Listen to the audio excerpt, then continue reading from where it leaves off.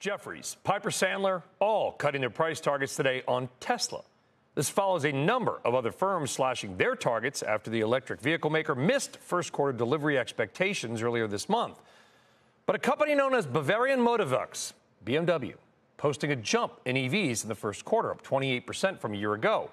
The not as good news the percent of battery electrics BMW selling actually declined from 18% of sales to 14%. But still, more people are buying them. Let's talk about it all. Joining us now is FullCycle managing partner and early Tesla investor Ibrahim Al Husseini. FullCycle invests in climate critical infrastructure technology. Ibrahim, good to have you on. Topic close to my heart. We talk about it a lot. What's your takeaway on BMW? What's your takeaway on Tesla? And maybe what's your takeaway on the industry at large?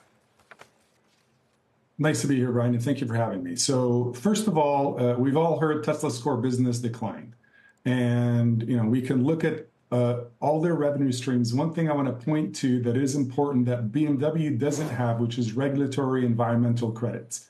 Tesla generated almost two billion dollars in these credits last year, and from 2009 to today, generated about nine billion dollars worth of these credits.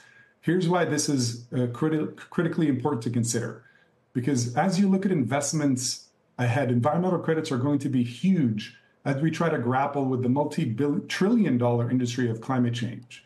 And even though BMW increased sales, uh, their mix of electric and uh, gas powered cars does not allow them to issue environmental credits. They actually buy carbon credits to offset their scope one and two emissions, uh, which I commend them for, and many corporations are following suit.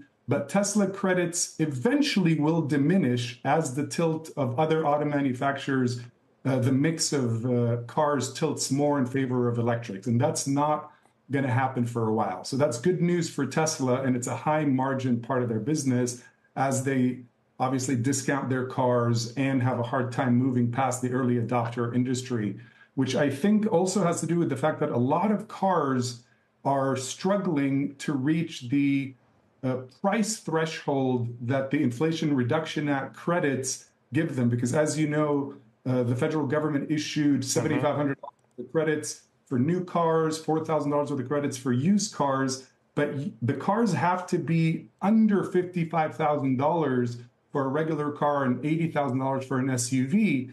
And electric vehicles are just, most of them are too expensive to even benefit from that. So that's why the industry is slowing down a bit. How, yeah, that, that moat on the credits is a powerful one to your point. Um, and your point on cost, by the way, is also well taken. And given all of what you just said, how does the environment, the EV environment, look a year, five years from now? It's a great question. Um, so, something interesting that happened I don't know if you drive a Tesla, I drive a Tesla.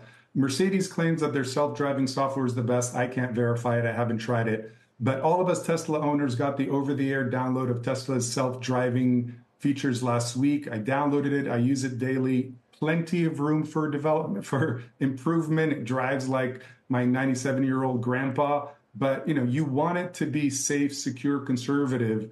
Now, the $200 a month subscription is what interests me because how many people are going to adopt the $200 a month add-on for this service? I'm not yet convinced uh, that it's worth it. But if enough people adopt it and these over the air um, add ons become part of the offering for all auto manufacturers, EVs, not EVs, it might might change the economics for the entire auto industry. I mean, Stellantis, Ford, GM claim yeah. they're going to generate twenty billion dollars annually from software services by 2023.